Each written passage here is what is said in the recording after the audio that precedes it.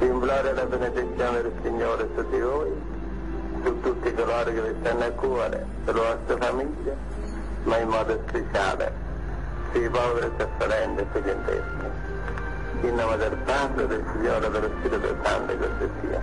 Salutato Gesù Maria, oggi e sempre.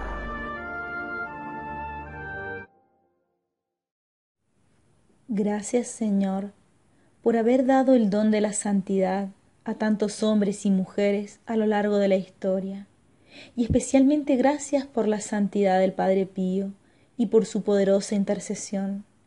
Hoy te pido que me concedas una nueva efusión de tu divino Espíritu, para que me ayudes a ser fiel a tu infinito amor y a tu santa voluntad, tal como Él lo fue.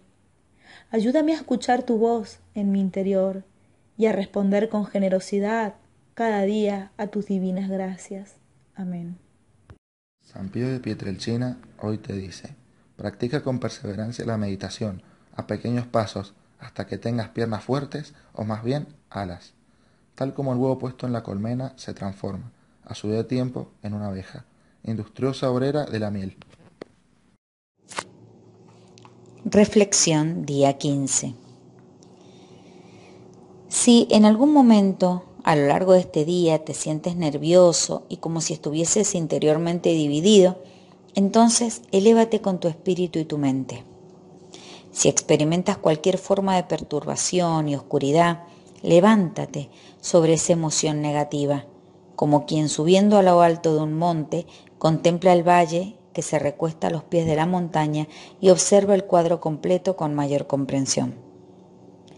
Si en alguno de los ambientes en los cuales hoy te moverás te chocas con desunión, críticas, faltas de valoración, comprensión y amor, Sube hacia la santa montaña de la oración para estar más cerca de la luz que derrama Cristo, sol de vida, ya que con su luz quiere darte otra mirada de la situación.